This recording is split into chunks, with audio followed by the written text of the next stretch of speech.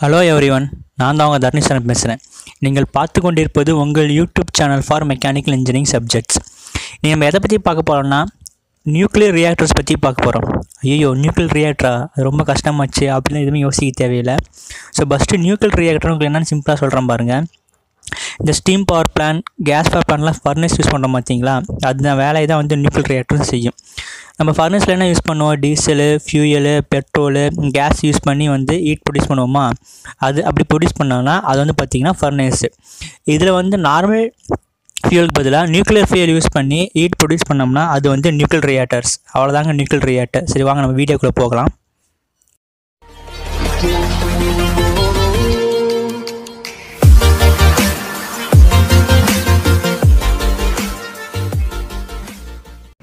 So இப்போ nuclear ரியாக்டர்ஸில் என்னென்ன components இருக்குது அது எப்படி எப்படிலாம் ஒர்க் ஆகுதுன்னு பார்க்கலாம் வாங்க. ஸோ ஃபஸ்ட்டு பார்த்தீங்கன்னா reactor core moderator control rods reflector cooling system reactor vessel and biological shieldings இதெல்லாம் வந்து பார்த்திங்கன்னா நியூக்ளியர் ரியாக்டர் காம்போனன்ட்ஸு இது எப்படி ஒர்க் ஆகுதுன்னு பார்க்கலாம் வாங்க.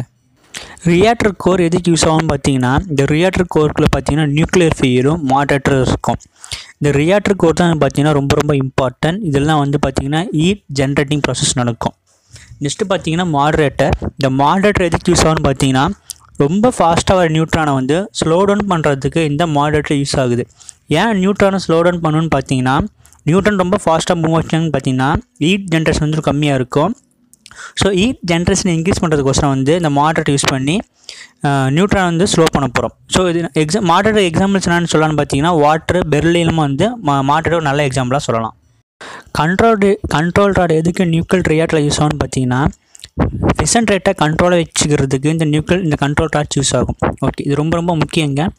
ஃபிசன் ரேட்டை கண்ட்ரோலை வச்சுக்கிறதுக்கு இந்த கண்ட்ரோல் ராட் வந்து யூஸ் ஆகும். ஓகே அது மட்டும் இல்லாமல் இது வந்து பார்த்திங்கன்னா மெல்ட்டிங் ஃபியூலோட மெல்ட்டிங் ஆகிறத வந்து ப்ரிவெண்ட் பண்ணோம். ப்ளஸ் வந்து எமர்ஜென்சி கண்ட்ரோல் எமர்ஜென்சி சுச்சுவேஷனில் இந்த சிஸ்டத்தை வந்து ஷட் டவுன் பண்ணுறதுக்கு இந்த கண்ட்ரோல் ராட் யூஸ் ஆகும்.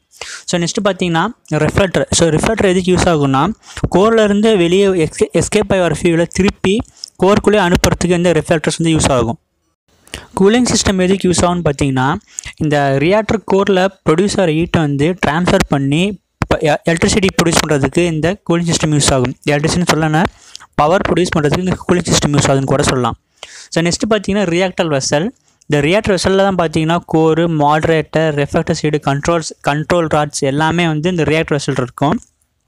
இந்த ரியாக்டர்ஸோட டாப்பில் பார்த்தீங்கன்னா வந்து ஷூயில் வந்து ஃபீடு பண்ண அலோவ் பண்ணும். பாட்டமில் பார்த்தீங்கன்னா தான் வந்து பார்த்தீங்கன்னா ரியாக்டர் கோர் இருக்கும். இந்த பயாலஜி சீடிங் பார்த்தீங்கன்னா ரியாக்டர் கோர்லேருந்து வர எல்லா ரேடியேஷனும் அப்சர்வ் பண்ணும். இது வந்து இது இது வந்து பயாலஜி சீடியோட முக்கியமான ஒர்க்கு ஸோ உங்களுக்கு இந்த வீடியோ நான் பிடிச்சிருக்கு நம்புகிறேன் இந்த வீடியோ பிடிச்சிருந்துச்சுன்னா உங்கள் ஃப்ரெண்ட்ஸுக்கு ஷேர் பண்ணுங்கள் மறக்காமல் சேனல் சப்ஸ்கிரைப் பண்ணிக்கோங்க. தேங்க்யூ